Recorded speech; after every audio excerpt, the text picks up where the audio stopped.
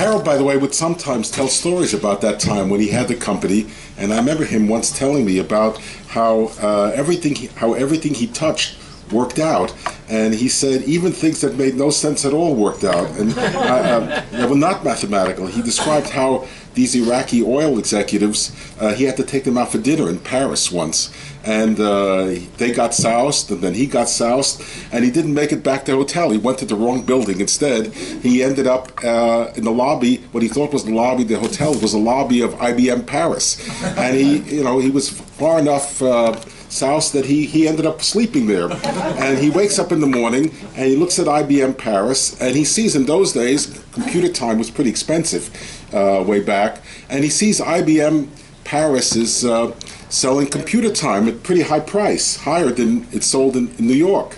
And then he remembers that his friends, the Iraqi oil company, they own time on a cable across the Atlantic, and they're not using much of it. Uh, so he asked him, he says, "Would you mind if I could borrow some of the time on the on your cable across the Atlantic?" And they said, "Sure, we're not using it anyway. Go ahead. We won't charge you for it." So he sets up a business in Paris. He buys computer time from IBM in New York on their computer, links it through this cable at IBM, and this uh, Iraqi cable time across the Atlantic, and sets up competition with IBM Europe for IBM time, time on IBM computers, wildly undercutting their price. And he said they couldn't figure out where he was getting computer time in Europe that was so cheap. All right, so uh, I think uh, my last planned speaker here uh, for the afternoon. uh, Well, you heard you had the privilege of hearing before Peter Sarnak, who is uh, a, not only a great mathematician, uh, a great friend of Harold's, was a great friend of Harold's, and a, and we were privileged to have him twice as a colleague here, and has been long a wonderful friend of many of us here and uh, has kindly said that in addition to his talk, he'll make a couple of remarks about Harold. As those of you who were here uh, saw, he, uh, Peter talked about work of Harold and how it helped inspire some current works of his and his collaborators. So we're glad to have Peter add. Thanks. Thanks.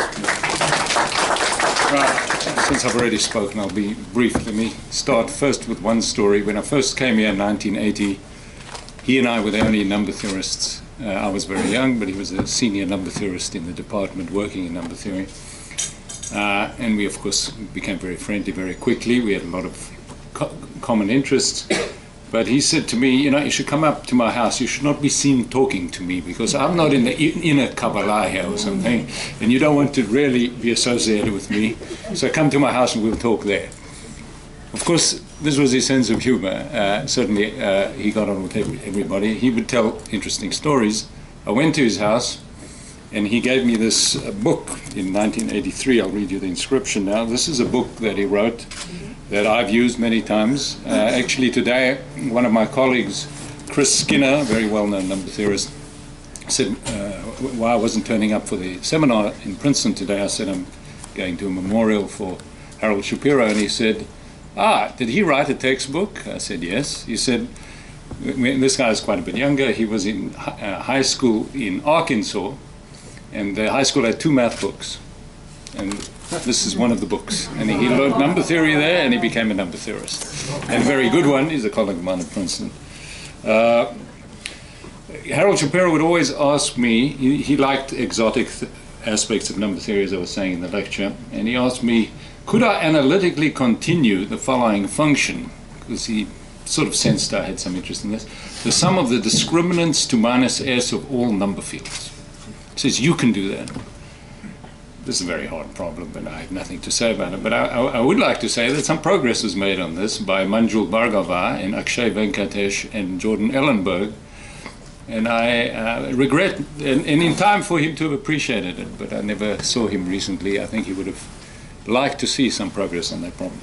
So, um, this book uh, he gave to me at his house on Tuesday, March 15, 1983. Dear Peter, so he had worked out that I used to be a chess fanatic. I was a chess professional as in high school, doing nothing but chess, and then discovered math. It was much, much greater. Uh, he obviously knew something about chess, as you'll see. Chess is much like marriage. In chess, many checks may lead to a mate. On the, on the other hand, in marriage, one mate actually usually leads to many checks. it just sounds like him. In any case, it's all number theory. Sincerely, Harold.